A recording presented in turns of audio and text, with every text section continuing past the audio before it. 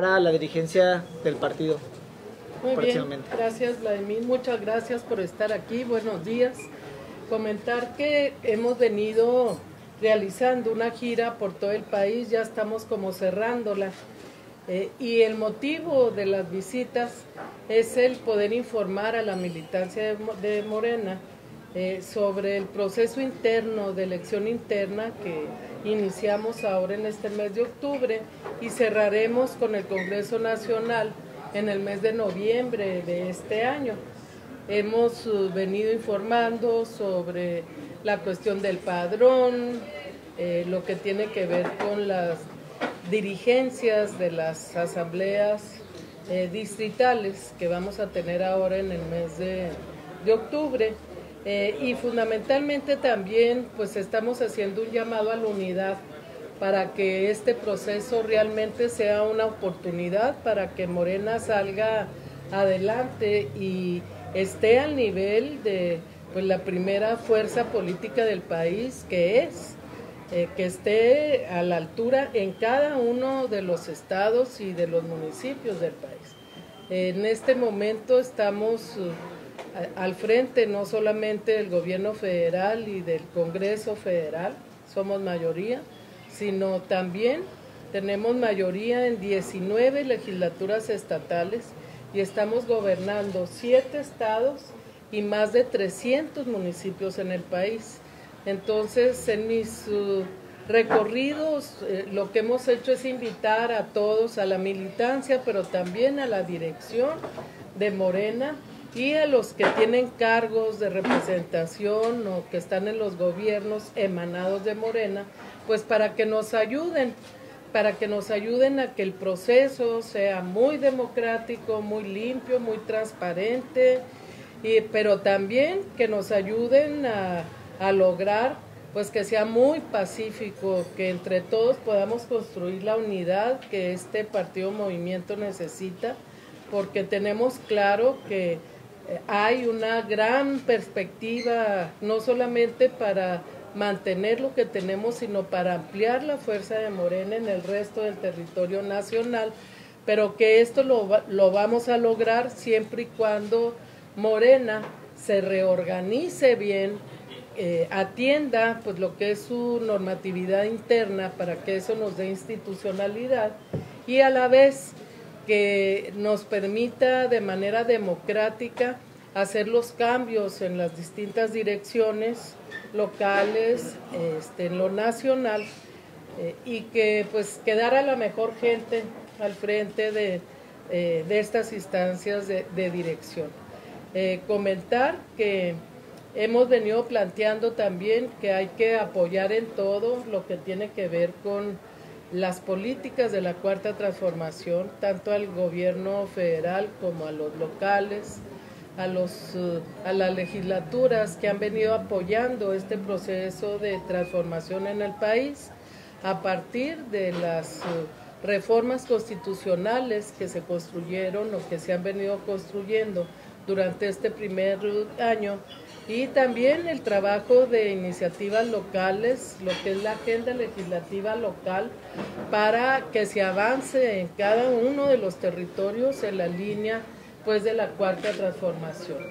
Eh, termino comentando que vamos a tener dos actividades el día de hoy, que está invitada toda la militancia a participar en ellos, que vamos a abrir con ello no solamente un diálogo, sino que vamos a tener cuestiones concretas pues que tengan que ver con la manera como se va a realizar el proceso de elección interna aquí en este Estado y en los dos distritos que están asentados en el Estado. En cada una de las asambleas distritales que van a realizarse en este mes de octubre, vamos a, elegir en cada, uno, cada una de ellas a 10 representantes del territorio distrital, cinco mujeres, cinco hombres, y a la vez estos delegados o estos representantes distritales eh, van a conformar el Congreso Estatal y el Consejo Estatal de Morena en Colima. Ellos el día 10 de noviembre estarán reuniéndose para instalar el Consejo Estatal. Serían 20 delegados, 10 delegados por cada uno de los dos distritos, y ahí nombrarían al Comité Ejecutivo Estatal. A la vez, estos 20 delegados estarían presentes en el Congreso Nacional de Morena el 23 y 24 de noviembre y van a ser parte de este gran uh, Congreso integrado por 3.000 delegados, 10 por cada uno de los 300 distritos electorales federales en el país. Y entonces, bueno, esta será la presencia que tenga Colima. Van a ayudar en este importante Congreso pues a construir el plan de trabajo, las estrategias para los próximos tres años y a la vez a elegir al Comité Ejecutivo Nacional que estará al frente de Morena eh, también los próximos tres años. Eso es en general el planteamiento respecto a, al motivo de mi visita aquí al Estado y estamos a la orden para cualquier pregunta que ustedes quieran hacer. Contadora, usted hablaba de un partido movimiento. ¿Qué es más Morena, un partido o un movimiento? Bueno, hasta ahora yo creo que hemos sido más movimiento y que necesitamos meterle en este momento más organización al partido. Como nosotros nacimos como, movimiento a principios de los años 2000, allá por el 2005, en la lucha en contra del desafuero que querían aplicarle al licenciado López Obrador, y seguimos siendo movimiento hasta el 2015, en que decidimos buscar el registro como partido político nacional. Nos metimos de lleno desde esa fecha a la contienda del 2018, pasando por varias del 17, entre otras por la elección en el Estado de México, a la gubernatura muy importante. Ahí hubo una participación muy amplia de militantes de Morena en este proceso y este eh, entrando a, la contienda del 18, pues ahora sí que nos abocamos a construir la estructura de promoción y de defensa del voto, lo que finalmente hizo que tuviéramos los resultados que ustedes, que ustedes ya conocen. Eh, sin embargo, dejamos la estructura un poco pendiente, por ejemplo, todo lo que es la estructura municipal la dejamos ahí para atenderla después. Se nos hicieron muchos huecos en las dirigencias por la gente que se fue a los gobiernos, que se fue a las legislaturas, en fin, a ocupar otros cargos. Entonces tenemos huecos en las direcciones estatales, en el Comité Nacional, en los consejos. Ahora tenemos que volcarnos a la reorganización del partido porque pues es el partido la herramienta con la que vamos no solamente a conservar, los triunfos político-electorales que hemos tenido, sino ampliar nuestros triunfos a otros territorios. Y debemos seguir siendo movimiento. ¿Por qué? Pues porque es el que tiene que ver con la lucha social, con las alianzas, con sociedad civil y con una agenda de demandas de la gente eh, que es también una demanda nuestra. ¿Sí? Una, vez que llegara la presidencia del partido, más o menos como que se vayan a abrir las para ciudadanos. Se está pensando en el año que entra, o sea, en el 2020, seguramente por ahí de mediados. Y voy a comentar por qué. Porque hay una serie de peticiones que se han venido planteando en los congresos nacionales de que estas nuevas afiliaciones pasen por algunos filtros que tengan que ver, por un lado, pues con un proceso de conocimiento de lo que es Morena por parte de los nuevos afiliados, de sus estatutos, de sus documentos básicos, una aceptación de los derechos y obligaciones que tenemos como afiliados, a la vez revisar un poco los historiales, no queremos que gente con un historial negro, antidemocrático o de corrupción forme parte de las filas de Morena, y sí nos vamos a reservar el derecho de admisión. Contadora, hablaba de unidad eh, y por lo menos aquí en Colima eh, se ha dado el caso de que con miras a 2021 algunos actores morenistas pareciera que trabajan más para el PRI gobierno, para que se mantenga el PRI gobierno, que eh, trabajar por una alternancia. ¿Se está en todo el país? Este, ¿Les preocupa este tema? Bueno, en, una organización democrática como la nuestra, donde no hay, no hay pensamiento único, siempre va a haber diferencias. Y lo que tenemos que ir haciendo en Morena es uh, armando la manera como resolver pacíficamente las, las diferencias. En ese proceso estamos, somos una organización nueva como partido, tenemos más como movimiento, pero este, pues estamos en construcción. Entonces, de ahí la insistencia en la institucionalidad. Si nosotros realmente nos apegamos a las normas que nos hemos dado para organizarnos, para coordinarnos, yo creo que vamos a poder resolver estas diferencias.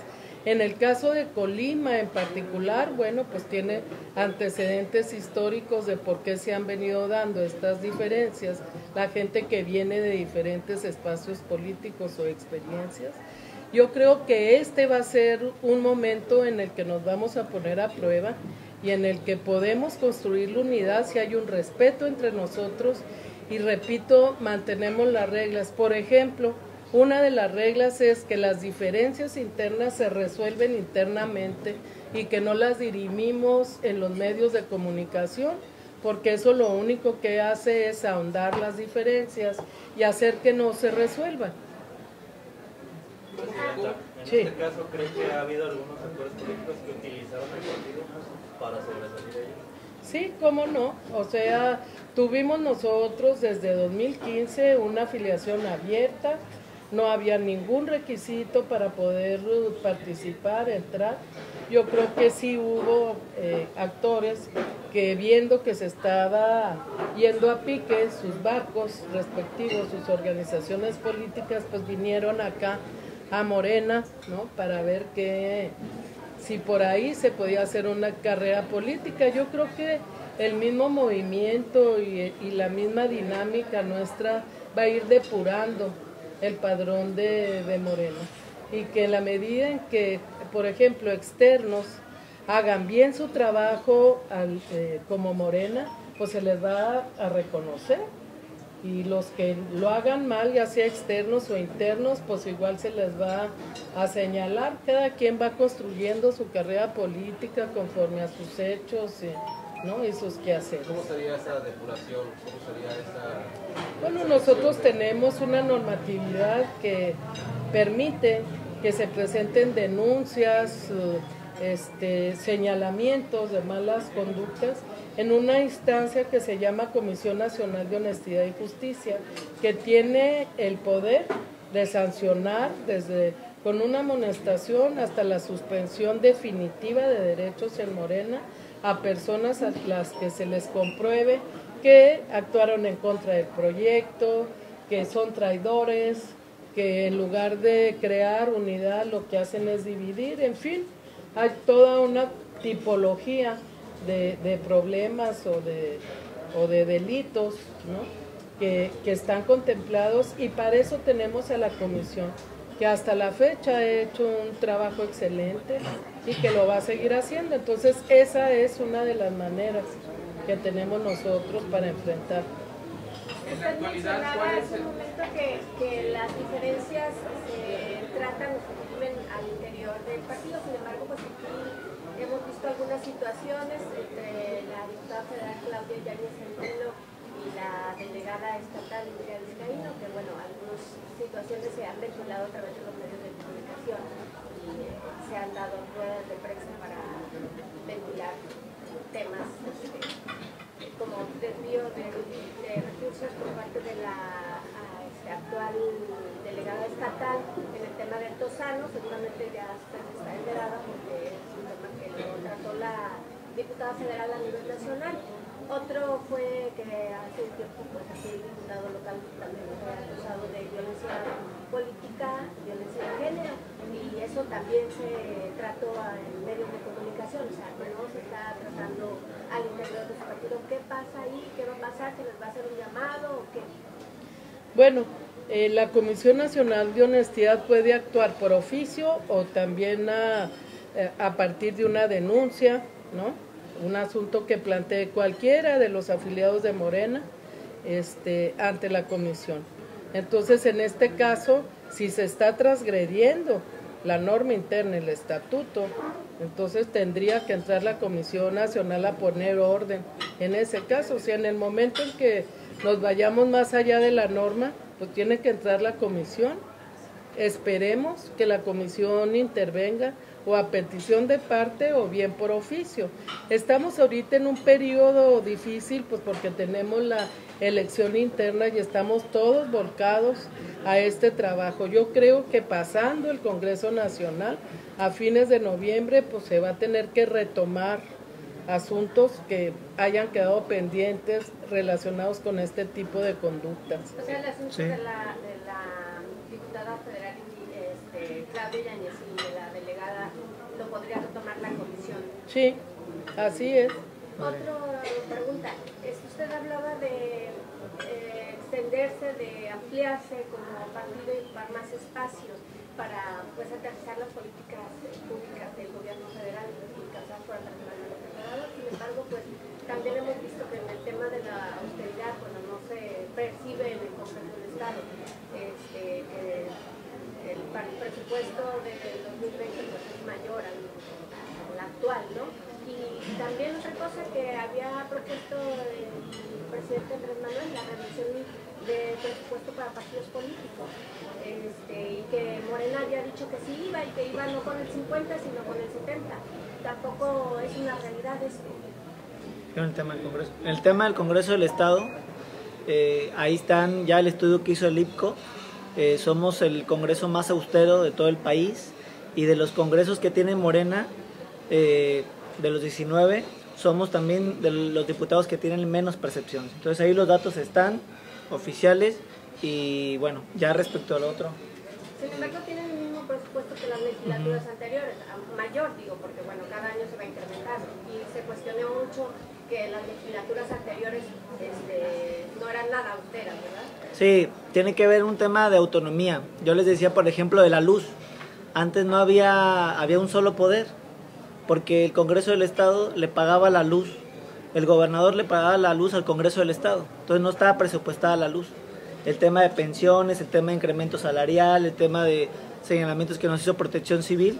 Entonces ahí va eso, porque sí queremos un Congreso fortalecido, queremos un Congreso que tenga autonomía del Ejecutivo del Estado, pero esos, ese incremento no va de ninguna manera ni a dietas, ni a comisiones, ni a ningún tipo de prebenda para los diputados eh, locales. Habla, te hablas también de las percepciones de los diputados, pero incluso el mismo dirigente aquí de Morena, el gobierno estatal, les ha hecho a ustedes el de que cumplan ese, ese compromiso de disminuirse los salarios. Sin embargo, saben que es una demanda de la población y sin embargo pues, no lo han cumplido se cumple con la demanda del presidente. Nadie gana más que el presidente, estamos muy por abajo y lo repito, somos el Congreso más austero de todo el país y de los congresos donde gobierna Morena también son las percepciones más bajas. Es el estudio que hizo el IPCO, que acaba de salir, entonces creo que para eso son las instancias internas del partido. nosotros respetamos las instancias internas del partido y creo que son los órganos conducentes para dirimir las diferencias que se tengan. Yo creo que eh, si hay más preguntas a nivel de lo local, se pueden hacer ahorita fuera de la, de la conferencia, me imagino los compañeros están puestos para eso. Si hay alguna otra pregunta para mí, sí. ¿Cuál es el padrón que tiene y cuál es el transparencia en el futuro este padrón? Porque en la actualidad se especula que este está secuestrado. Bueno, el, el padrón eh, que tiene Morena, que está contenido en un sistema que se llama Sirena, es el padrón histórico de Morena, el que creamos entre todos porque toda la militancia hizo afiliaciones durante años y es el que ha estado vigente para todas las actividades, congresos, cinco congresos nacionales, consejos, toda la vida política de Morena parte de este de este padrón. Y nunca ha habido problemas, salvo cuestiones uh, particulares de que yo llego a la asamblea y no aparezco, etcétera. Eh, este padrón tiene toda la confiabilidad, no está completo, los 3 millones 100 mil de afiliados no están dados de alta en el INE, porque eh, por estrategia se decidió que este padrón fuera confidencial para Morena y solo una parte este, registrarla, la que nos pedían, un mínimo de afiliados. Hoy ya el padrón se subió a la página de Morena, Morena, sí. Aprovecho para decirle a los afiliados y a la militancia que pueden entrar a la página de morena.si, buscar con su credencial de lector y su clave de lector, su nombre, sus datos y pueden bajar un código QR para que cada uno pueda tener como una especie de pasaporte, un comprobante para poder entrar a las asambleas distritales. Esto ya se echó a andar desde hace tres días, ya está funcionando y yo creo que eso nos va a posibilitar que las cosas vayan pues caminando de manera eficiente simplemente. Sí, usted me decía. el papel de Polina en tu agenda, teniendo en cuenta que el diputado federal Mario Delgado, senador de la bancada de Morena, es de acá. Es de acá. Y obviamente eh, tu presencia aquí, ¿cuál es el papel de Polina en tu agenda? Bueno, eh, es uno de los de las entidades de la República y tiene el mismo valor que cualquier otra entidad no tiene, vamos a decir que ni más ni menos importancia esto de que Mario Delgado sea de acá. Bueno, yo soy de Chihuahua y tampoco estoy allá clavada en Chihuahua y él ha ido y demás. Entonces, pues es el territorio nacional y todas las entidades las que estábamos atendiendo. Repito, con un mensaje que tiene que ver con unidad y hay que poner el ejemplo, ¿verdad? E información sobre el proceso. ¿Por qué no está pues están los compañeros que quisieron asistir aquí al, evento. Es un evento abierto, eh, la agenda fue pública y bueno. Berta, hay la inquietud aquí en Colima. Sí. Con esta que nos acabas de explicar, con esta modalidad que ya tienen de un padrón actualizado, entre comillas, de si está el exgobernador Mario Anguiano, por ejemplo, o si está Indira Vizcarino también, por ejemplo, en este último padrón que estás mencionando? Pues no están, porque el padrón eh, nuestro se cerró en noviembre de 2017. O sea, en esa fecha cerramos la afiliación formal, eh, o sea, la afiliación que está contenida en el registro. Por eso la convocatoria a este proceso establece que el, el padrón, el de los 3 millones 100 mil, es el que corresponde a las afiliaciones hasta noviembre de 2017. Así es. Entonces, la gente que no se afilió hasta ese mes, en, esa, en ese año, pues va a tener que hacer lo que dijimos, una solicitud de afiliación y ya pasará por los filtros que la organización no alcanza, les alcanza para la votación ahora que van ustedes a, llevar a cabo? Bueno, no tengo yo así la precisión a nivel de personas, pero si estas personas no estuvieron afiliadas en esa fecha, pues no van a poder participar. No van a poder participar. No, no, claro que no. ¿Mm? Nada más eh, una más, eh, una más porque no sé si haya alguien que no haya preguntado. Pero la Vaya, sí, una más. A ver, perdón. perdón. Sí. ¿Cuántos militantes son? ¿Cuánto van a poder votar? 3 millones 100 mil. El, nacional. Ah, en el caso de, de 15 mil. 600. ¿De la ciudad o de todo el estado? No, no, de todo el estado son alrededor de 3 mil. 3 mil, claro. Esa, esa, esa sí completa lo que ocupa en las representaciones, la que mencionaba de las delegaciones. Sí, sí. Bueno, Colima es un estado pequeño, ¿verdad? Y el trabajo pues ha ido lento, pero ahí va. Sí, fue a ver, por último. A ver. Hace un momento hice una pregunta que pues, A ver, dígamela. Eh. Que el asunto de la reducción, o más bien el regresar recursos por parte de los partidos políticos, que fue un llamado que hizo el ah, eso. y que Morena había dicho que sí iba y al último no. No, no, sí. El, el acuerdo del Congreso, el último Congreso Nacional de agosto de 2018, que todavía en él estuvo el licenciado López Obrador, ahí renunció él o, pidió licencia a Morena, ahí acordamos entregar la mitad de los recursos, regresarlos y de la mitad que nos quedaba eh, dar el 50% al Instituto Nacional de Formación Política. Ese es un acuerdo y ese acuerdo es de Congreso y se tiene que cumplir. Todavía no termina el año, ¿verdad? Estamos en octubre, tenemos que cerrar dando cuentas claras Todavía están a tiempo a la ciudadanía. Todavía están a tiempo de ¿Mande? Todavía están a tiempo de Sí, claro, claro, todavía no termina el año. ¿Y sí se va a hacer? Sí, pues Sí, por eso supuesto. claro que sí. O sea, es acuerdo de Congreso, se, el acuerdo se tomó frente al hoy presidente de la República, tiene el aval de la unanimidad que hubo en el Congreso, se tiene que hacer. Muchas gracias, Gracias. a todos y a todas. Buenos días. A Colima y a Tecomán. Colima y Nada Tecomán, más. Manzanillo. Colima y Tecomán. No, a Manzanillo. Gracias. Gracias.